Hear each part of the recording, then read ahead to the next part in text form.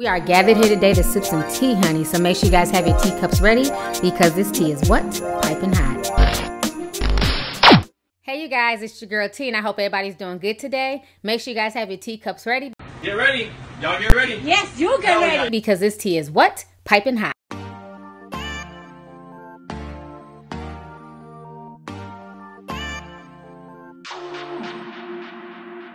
Crown tilted, bitch, that mean I'm chillin'. This ass in short, 5 billion. Trendsetter, 17 years. Rockstar music group, that's the label. Born down south, raised in the poker bean. A down south representative by all means. Miami, a black man, America dream. 305 for live, and I rep the whole team. You know my city up, we don't sleep. Live on Sunday and sex on the beach. Probably a chick, nothing move but the money. So baby, if you love me, pesos, keep me company. New love and hip hop. 305 is where it's at.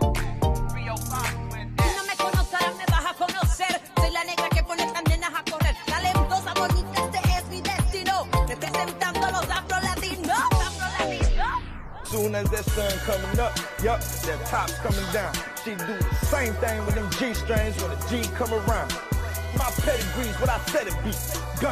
Hey, you guys, I hope y'all are doing good. So, a lot of people have been wanting me to talk about Love and Hip Hop Miami. So, if you guys don't know, it debuted this past Monday. And yes, honey, I was in the building. I was there to watch it, and I really enjoyed it. I was really surprised at how well shot it was, the colors. They're definitely taking a whole different aspect with this show. Um, it didn't come off like dry ass Love and Hip Hop Land. I'm so over that season. But Love and Hip Hop Miami definitely came out the box, out the woodwork. It was very, very interesting to see the different characters on there. I haven't seen Shay Johnson in years, but her ass was doing a bit too much, okay?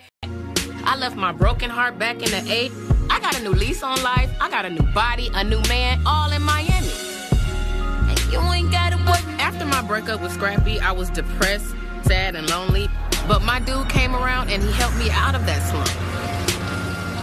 But being in a long distance relationship for the past two years has been tough.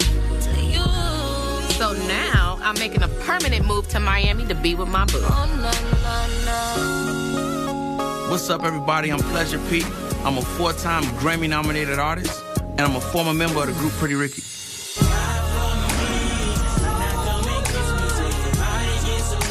Pretty Ricky was about sex, sex, and more sex. Baby making, love making, falling in love. The ladies loved it, and the fellas loved it even more. The group broke up for several reasons. We just wasn't getting along, too much success, a lot of egos all over the place. So I And it was really funny to see Pretty Ricky, aka Thicky Ricky, because them boys they done gained some damn weight, okay? Um, yeah, Pleasure P, yeah, you done packed on the pounds, bruh. Him and the other little short guy that kept arguing. I'm like, wow, like what happened? You know what I'm saying? Yo, you didn't have to stay in the It's studio. gonna get done. What you mean? Who recorded? Who engineered? Who mixed? All right. Cause you, You- say me. I did it. Don't you got a number one record that I produced?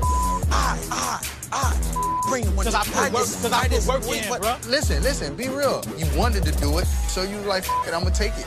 I'm gonna run with it. We didn't have to do it that way, so now we're gonna do it the right way. Make sure everybody pulling their weight. Slick gonna do what he gotta do. P, you, me, everybody gonna pull their weight. This about one last album, one last tour, making our Agreed. correcting our mistakes Agreed. from the past, Agree. and freaking Agreed. doing Past. it for the pen.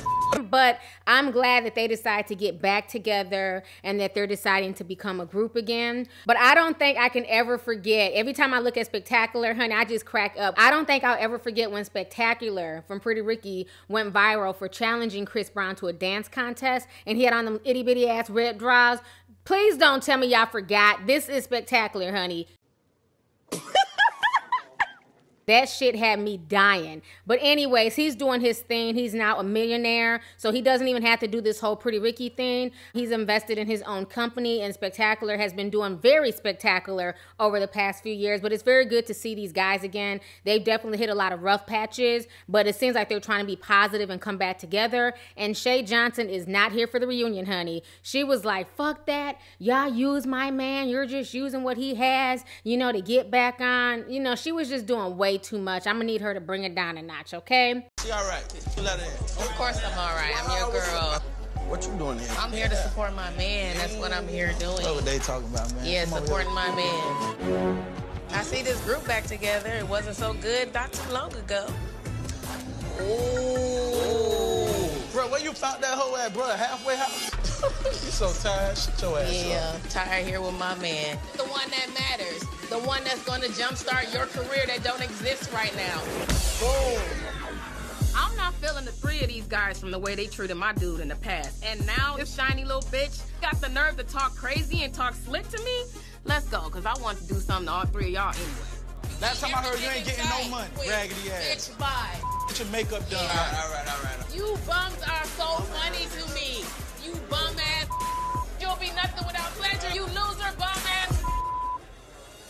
Now, I definitely love the whole Trick and Trina um, thing. It's cool to see them on there. And I love the fact that Trick took us to the real part of Miami. People just think Miami is South Beach. Miami is so much more than South Beach. So I'm really glad that he took the audiences out of South Beach and they're not trying to make it this whole South Beach glamour situation. He took folks to where he stays, he took folks to the hood. Like I said, it was just really well shot. I love seeing the donks, honey. Oh, Miami. I had such a good time down there this summer. That's right, you heard, baby, cause I'm a thug all day, every day. Oh my God, please do not act like Trick Daddy did not have hits back in the day. And a lot of folks online roasting him because of how he looks in 2017. But honey, for folks my age, y'all know Trick and Trina, they put on for Miami. And I feel like Miami does not get enough recognition, especially in hip hop. But Trick Daddy has a lot of good music. He has a def- he definitely has a good catalog. So I'm glad to see him and Miss Trina on the show. Trina definitely has a cool catalog, and I can't wait to hear more music from them. Um, so I mean, the whole situation was just crazy just watching the show. And Gunplay, oh my goodness, I have not seen Gunplay in years. So it was really funny to see him on television. And when that fool said that his girlfriend that he's currently with had been shot three times in a Chicago drive-by, I was like, yep, that's a match made in hell. I see why y'all are together. Gunplay and she done been shot? Shit. I guess. Cool, but you come from Miami and you know what's with Miami. I love Gunplay, and I really, really want to see him succeed. But I'm very worried about Gunplay relapsing and getting back into the streets and all the temptations that might come with it. You got groupies, you got bitches, you got all of that. I changed since I left here. But you know, you know, like, We're moving back. Kiara don't want me to move back to Miami because of my past. And, you know, a few chicks and, mm, you know. mm. Thug, what's up? Miami Tip hung up her dancing shoes and started doing this rap thing. And she's got a lot of talent. Just give me a promise that we're gonna be on our best behavior. Do you miss me? You know, that's the past, but I still think about you, you know. You still have my heart a little There's, bit. there's a spot right there, right at the tip.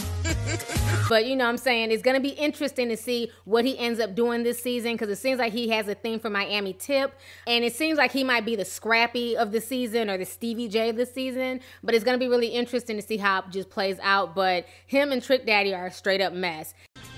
I'm gonna get back in the lab, get get this album done, and it'll just be an honor, my if I could really get you on the album, my brother, for real. Let me, for let me real, tell you real. something. Trick don't play. Ain't too many people I do music for. I'm tired of everybody from the West Coast, everybody from the East Coast, taking our vibe, Yeah. taking our lives, Yeah. and putting it in their music, Yeah. and not giving us credit for our lyrics. Now, Trina's cousin, Bobby Lytes, I think that's his name. Honey, he is a messy queen, but I'm here for it, bitch. He got the show popping Monday night. And funny enough, he looks like Trina. Like, you know, I thought he was just, you know, over exaggerating, saying, oh, you know, me and Trina are cousins. You know, honey, in the hood, everybody's your cousin. But no, they actually do look alike. And Trina's father and his father, they're brothers. So they are actually blood cousins. But for whatever reason, Trina is not trying to put him on, and he's not here for the foolishness, okay? When I come around you, I don't want to have to deal with them. And if I'm going to have to deal with them, they should probably have some type of understanding as to where I stand in your life. I've never done anything ill to you, Trina. I've never I've You never done haven't, but- I've always had your back. I'm all that for you. Uh-huh. But I feel like I deserve the same in return from you. Like this is my mother family. Y'all should mother treat me with respect. Can. I say something? Yes. My crew is trained to be around to act accordingly. And when you come around acting your way, it kind of conflicts. I am family. I don't need to be trained. I need to be respected. I'm not one of your mother minions, and I'm not trainable. So we'll continue to do what the we do. You get your money, you're a superstar. I'm about to be a superstar too. I got my music about to pop off. And even if you don't decide to help me or support me, it's still gonna get done. Bobby, you are a mother bomb. You're beneath me, bitch, and you will always be. Ain't no way in hell I'ma sit right here and let Trina's scum ass minion disrespect me and call me out my name. That ain't the way it's going down. I take enough in these streets with just being who I am. Weirdo. All I've ever wanted from Trina was to accept me as an artist and as her blood. So the season seems like it's gonna be off the hook. I forgot the other female cast members; they weren't really memorable to me. But the breakout star of the show, the one person that people cannot forget, is Amara La Negra. Trying to say it in my Spanish accent, Amara La Negra. Yo, I loved her. I loved everything about her. I loved her spirit. I loved her attitude. I loved her body. I loved that big ass afro. I loved her brown skin. En tu cama. A pesar de que tú digas que la amas, sabes que soy la única que prende tus llamas. Like, I just thought it was dope. I've never heard of this dude, Young Hollywood, and them damn eyelid tattoos. That's no, stop. You're not Lil Wayne. That shit's tacky. But he just got on my damn nerves. And he was officially the first person drug in 2018. When I tell you Black Twitter came for his ass, for him saying all those colorist statements and, you know, just trying to belittle Amara La Negra for her trying to be comfortable, you know, her being comfortable in her skin. And he's making comments like, you know, why are you calling yourself Afro Latina? Is it because you're African? Is it because you wear the afro? And, you know, uh, and then when he called her Nutella and, you know, just being just really crazy. And then he put up the Black Power fist. Honey, y'all go ahead and check out these videos. I, I couldn't even believe what I was watching on television. Check this out. Let's Say we were actually to take off some and do a record, right? And I'm like, yo, I need you to look a certain way. What would a certain way look like? Like what? What do you have in mind? What would you A little bit more Beyonce, a little less Macy Gray. You know, you gotta be a little bit more it. sensual. You know, the Afro thing's cool. You know, you could do, you know what I'm saying, like a video here and there, certain looks, but you know, maybe try something different, different looks. So wait, I don't get it. What does that It's a seasonal Elaborate. thing. It's a Elaborate. seasonal no, no, no, no, no. See, I like this. Go ahead. What does that mean? You can see Beyonce just like this, Soul Sister, the same way you can see her come in a beautiful gown, elegant, breathtaking. So I can't be elegant if I have a fro. Is that what you're saying?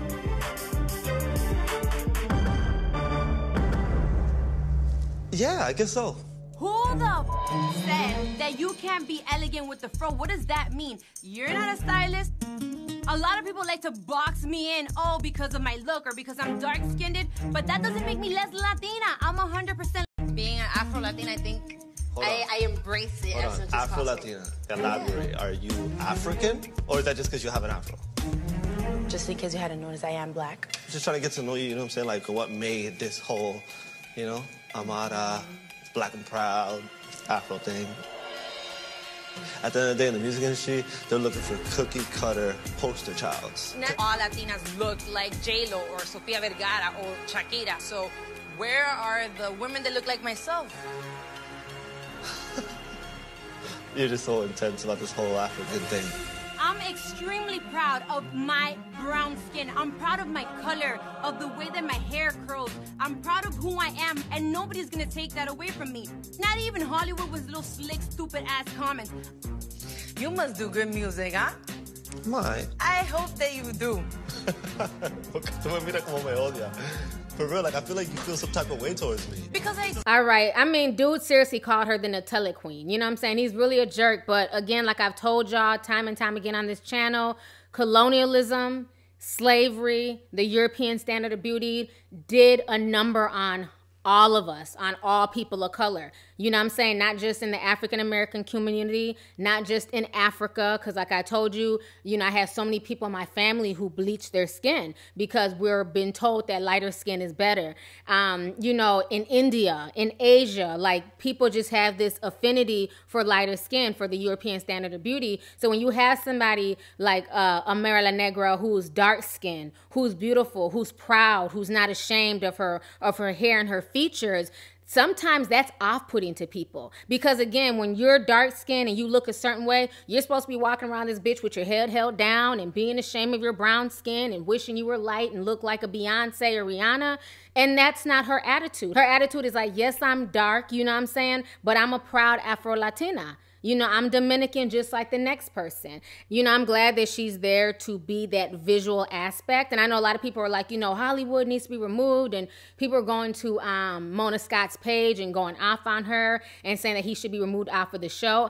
I don't think he should be removed at all. I think you need a character like him because that's the real world. Because again, you guys sit up here all the time on social media and act like colorism doesn't exist and like it's just something that, you know, bitter, dark skinned black girls made up, you know, it's something that dark skinned chicks just can't get over. Colorism is very real and it doesn't just affect black people, it affects darker toned people throughout the world. You know, so I'm glad that they showed this because that's how a lot of people think. And I already said that when I did my Cardi B video that unfortunately a lot of people, especially in the Dominican community, they have been brainwashed to think that lighter is better. Does everyone in the Dominican community think like that? No, of course not. But a majority of people do, and Young Hollywood is no exception. So I cannot be too angry at him because somebody taught him that. And unfortunately, we suffer from that also in the African community, in other communities where we're taught the same thing that lighter is better. You know what I'm saying? You know, how many black people sit and make fun of other black people's hair and their hair texture? I remember when I first went natural, I talked about this years ago when I would wear my afro out, people always hit me up with the black power fist. And it's like, what the hell is that about? It's just my hair. I'm not a Black Panther. You know what I'm saying? So, I mean, it's just, it's really sad, but colorism is a real problem. And people should not be burying their head under the sand or under a rock and pretending as if it doesn't exist. So, to remove him, would be disingenuous. You know what I'm saying? Especially being that most of the colorism tends to come from men. You know, a lot of guys tend to perpetuate that even if they don't realize it, they do. So I think it's good that they're showing this. I'm so happy that she's a proud, dark skinned woman. And this is why we need people like Amara La Negra because so many times we're being told that, you know, black is just black. You know, as long as you have a drop in you, you're black. Okay, that's fine. But when you're only going to show lighter skin and racially ambiguous people and pass them off as black, and then when you see somebody like her, that's why people get so shocked. Because the only people that you usually see coming out of Latin America are the J-Los, the Ricky Martins. You know, a lot of people don't realize that in Latin America, it's diverse just like it is in, in, in America. You know what I'm saying? You have a wide range of colors. You have a wide range of mixtures.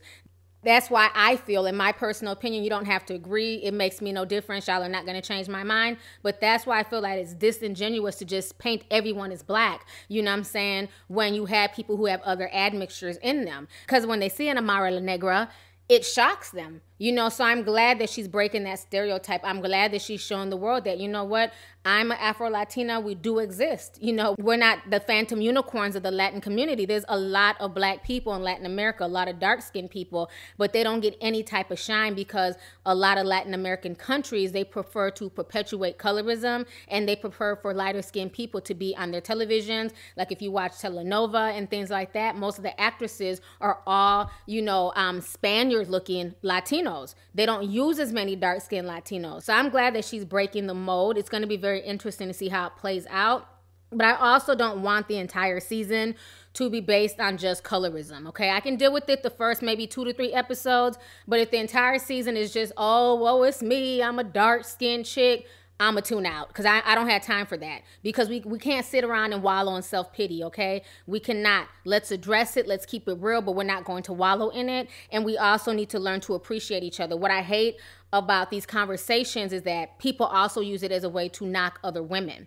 You know, just because you find Amara La Negra beautiful and you know she's brown skin like you does not take away from Beyonce's beauty. And I've been seeing people saying, "Good, you know she needs to replace Beyonce. I hate Beyonce. You know she's ugly. She's overrated." Beyonce is far from ugly. Beyonce is gorgeous. I don't care what anybody says. Rihanna is gorgeous. I think we need to be able to embrace everybody. And Cardi B herself is also a beautiful woman, and that's why I said even in my video when I you know broke that down, I said at the end I still fucks with Cardi B because we were all raised a certain way, and we all still hold a little bit of our childhoods within us and those prejudices and those insecurities it's within us. And it and it, it takes us a while to exercise that out. It takes us a while to become comfortable with our skin you know but unfortunately you have people who are raised in colorist households and sometimes that's just you know what was embedded in them. Even young hollywood for me i'm not going to go on his social media and drag him and wish him death I feel bad for him. And I hope that once he sees himself on camera and he sees how foolish he looks, that that will force him to change. You know I'm saying? That he will see dark skinned women as any other type of women. You know what I'm saying? We're just like any other woman. So, you know, hopefully that will get him to change. He was on Snapchat yesterday. You know, folks were going in on him. I want y'all to watch this video really quick. Why you call her Nutella? I like Nutella. You gonna act like you don't like Nutella? The Nutella queen. I can't believe they put that. Out of everything I said, they left that. Like, it's crazy. All right, so you guys just saw his Snapchat video. So, like I said, hopefully, okay, hopefully he will eventually change once he sees how foolish he's looking on television. But I think, you know, so far, so good. You know, I'm liking this show. I'm liking what I see so far. I'm sure there'll be some ratchetness. I'm sure there'll be some fights because that's what love and hip hop is. I'm sure there'll be a lot of damn sex and all types of shit. But um, I think you know they they needed to revamp the franchise because I'm literally over all of these cities at this point, but especially Atlanta. I'm super over Atlanta, so I'm glad that they went to Miami, and I think they have a really decent cast. So it's gonna be very interesting, you know, to watch Trick Daddy and see what he comes up with. Trick Daddy, please, sir, I beg of you, sir, if you're watching Take off that bright ass jacket and that confessional. That jacket, honey. I said, where the hell did Trick get this damn loud ass jacket from? I wasn't feeling the damn jacket. But other than that, you know, Trick is Trick. And, um, you know, just seems like he's in a happier space right now and he's just trying to make moves and him and Trina are trying to come back. And so it's just going to be interesting to watch. So let's go ahead and get the discussion popping. Make sure you hit that subscribe button. Don't forget to hit that like button and make sure you click that bell so you can be down with the notification squad, honey. So let's go ahead and get the discussion popping. Go ahead and leave a comment. All right, deuces.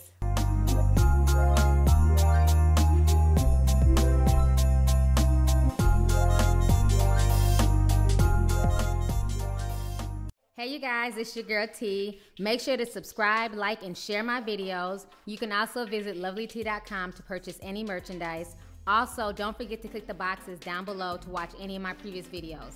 Talk to y'all later. Deuces.